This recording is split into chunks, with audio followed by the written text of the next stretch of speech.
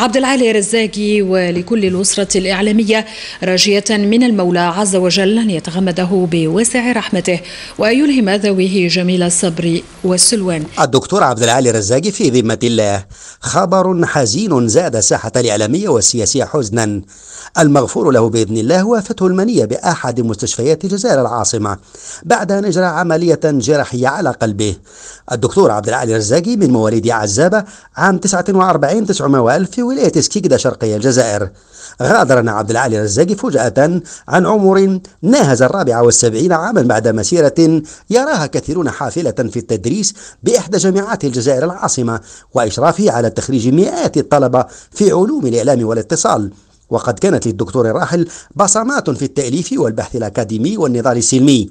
من أجل جزائر تختلف عما عاشته البلاد منذ استرجاع السيادة الوطنية عام 62 900 وألف. وفي الوقت الذي استقال فيه كثير من أبناء النخبة وطلاقهم للمشهد السياسي رأى عبد العالي الرزاقي أن النشاط الجامعي وإلقاء المحاضرات والمشاركة في الندوات الأكاديمية داخل الجزائر وخارجها مهم جدا. لكن ليس ذلك كافيا إذا لم يتخندق الباحثون والأكاديميون مع قضايا شعبهم كما كانت عليه الأوضاع أيام الحركة الوطنية قبل اندلاع الثورة التحريرية. الآن بدأت أستحي أن أتحدث في القنوات عندما تتصل مع, مع بقنوات عربية وأجنبية أعتذر. كان للدكتور عبد العالي الرزاقي حضور فاعل في الحقل السياسي بمشاركته في عديد الاجتماعات فيما عرف بلقاءات مازافران والتي كان يديرها رؤساء أحزاب وجمعيات تنشط في المجتمع المدني. وكان عاملها الرئيس معارضة تمديد عهدات الرئيس الراحل عبد العزيز بوتفليقة على حساب تهميش الشعب وإبعاده عن تقرير مصيره بنفسه.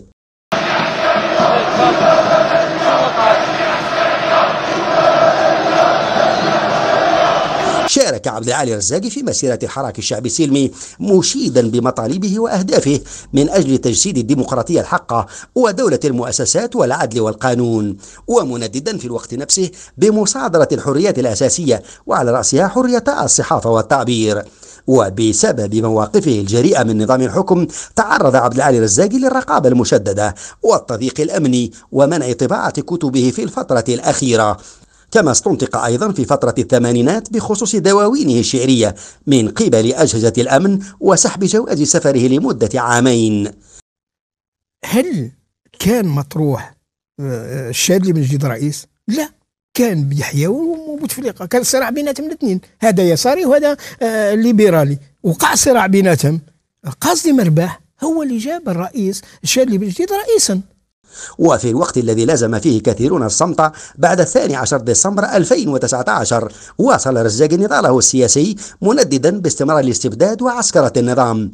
مؤكدا أن ما يعرف اليوم بالجزائر الجديدة ما هو إلا مرحلة أخرى من نظام المخلوع الراحل بوتفليقة. اللهم بعد الرتوشات المضافة لواجهة الحكم لا غير.